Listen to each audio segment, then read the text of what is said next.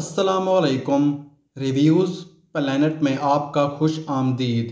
आज मैं दिमाग की चवलें हिला देने वाली पाँच ऐसी फ़िल्में पेश करूँगा, जिनसे ज़्यादातर लोग नावाकिफ़ हैं। कोशिश की गई है कि मुख्तसर रिव्यू में फ़िल्मों की कहानी पे मुकम्मल तौर पर पर्दा रखा जा सके, ताकि ये फ़िल्में आपके दिमाग की चवलें हिलाने में कोई कसर बाकी ना छोड़ें।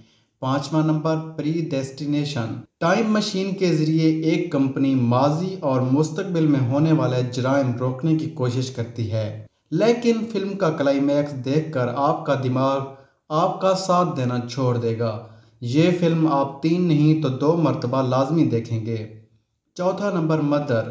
जेनिफर लॉरेंस की एक इंतहाई पेचीदा फ़िल्म एक राइटर जो अपनी मर्ज़ी की दुनिया तख्लीक करता है। और फिर उसे तबाह होते हुए देखता है। फ़िल्म को समझने के लिए पहले डायरेक्टर का इंटरव्यू यूट्यूब से सुन लें, वरना दिमाग का कचूमर करने के लिए तैयार रहें। तीसरा नंबर, कलाउट अटलस। तीन घंटे लंबी और बिल्कुल सादा सी कहानी, जो इंसान को इंसानियत सिखाने में नुमाया किरदार अदा करती नज़र आती है। लेकिन फ़िल्म के अख्ताम होने पर इसकी कास्ट देखकर आप दंग रह जाएँगे कि ये मैंने इतना सब कुछ मिस कैसे कर दिया।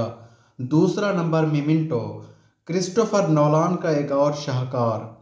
फ़िल्म की कहानी एक ऐसे किरदार के गिर्द घूमती है जो अपनी बीवी के कातिल को ढूंढ रहा है। लेकिन मसला ये है कि ये किरदार एक ख़ास बीमारी का शिकार है, जिसमें कुछ ही मिनटों बाद ये पिछला सब कुछ भूल जाता है। फिल्मी पंडित कहते हैं कि इस फ़िल्म को समझने के लिए इसे रिवर्स ऑर्डर में यानी अख्ताम से शुरुआत तक देखना चाहिए। अब बात करते हैं सबसे पहले नंबर वाली फ़िल्म की, यानी मल हॉलैंड ड्राइव। गुजशत डेकेड दुनिया की सौ पेचीदा फ़िल्मों की लिस्ट में अपनी जगह बनाने वाली ये फ़िल्म इस लिस्ट में पहले पर अपनी जगह बनाने की मुकम्मल हकदार है। मेरा दावा है कि इस फ़िल्म की कहानी आपके दिमाग की चवलें हिलाने में मुकम्मल तौर पर कामयाब होगी।